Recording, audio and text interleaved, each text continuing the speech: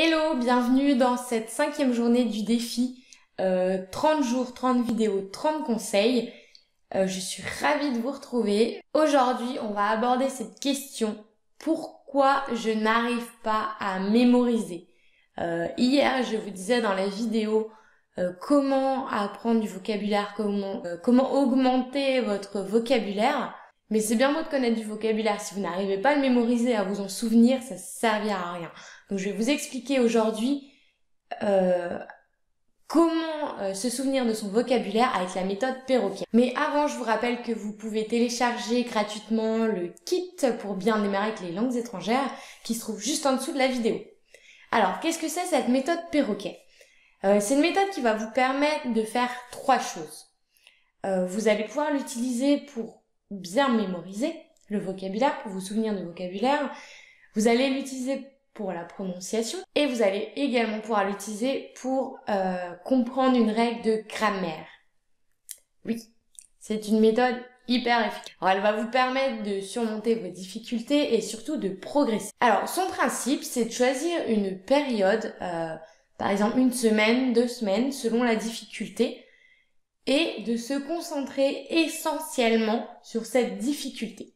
Donc, par exemple, euh, si vous ne savez pas prononcer comme moi au début le jus d'orange en anglais, en espagnol, el zumo de naranja. Ça paraît facile comme ça, mais c'était très très compliqué. Les débutants sauront euh, de quoi je parle.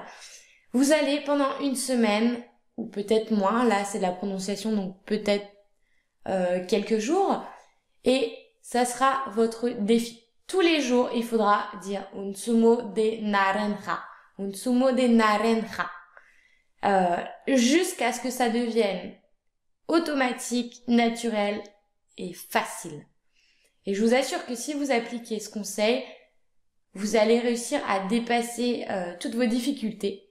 Vous pouvez également l'utiliser avec par exemple ser et estar, en espagnol encore une fois, euh, cette règle qui nous fait tous du mal, même en étant avancé dans la langue, on ne sait jamais si on doit dire ser ou estar. Et pour commencer, euh, pour s'imprégner de la règle, prenez par exemple une semaine et tous les jours pendant une semaine, vous allez revoir cette règle, l'appliquer, prendre des exemples et vraiment être focus sur cette difficulté. Et donc pour la mémorisation, c'est la même chose. Euh, cette phrase que vous ne savez pas prononcer en russe, je vais pas me mettre au défi de vous dire le russe, de vous prononcer une phrase en russe, ça sera pour une prochaine vidéo. Mais euh, vous allez faire la même chose.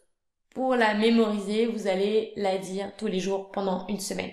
Et je peux vous dire qu'après cette période d'essai, cette période de répétition, vous allez enfin vous en souvenir. Alors, je vous mets au défi de tester cette méthode. Dites-moi dans les commentaires euh, quelle est votre difficulté et euh, comment vous allez donc euh, la, surmonter.